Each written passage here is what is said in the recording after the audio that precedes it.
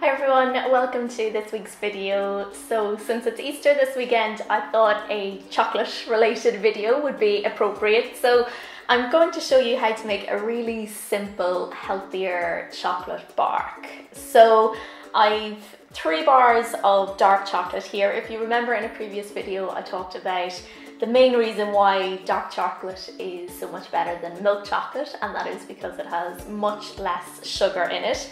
But I know that means a lot of people find it a bit bitter, especially if you're not used to it. So the point of making like a chocolate bark like this means um, is that adding these other bits and pieces to it means that it's a bit less bitter and these things that we're adding are all really good and nutritious so it's a good way of kind of getting these things into you if you wouldn't be eating them otherwise.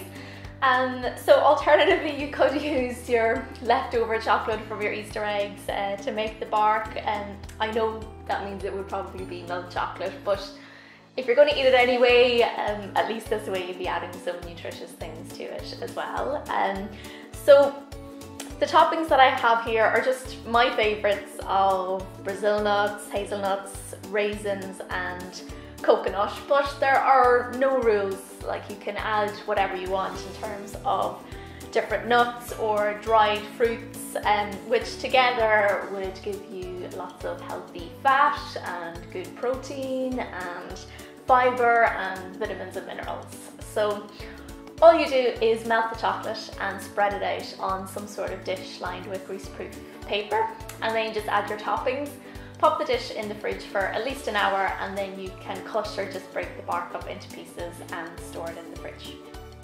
So thanks for watching, happy Easter, enjoy all your chocolate and I'll see you next week.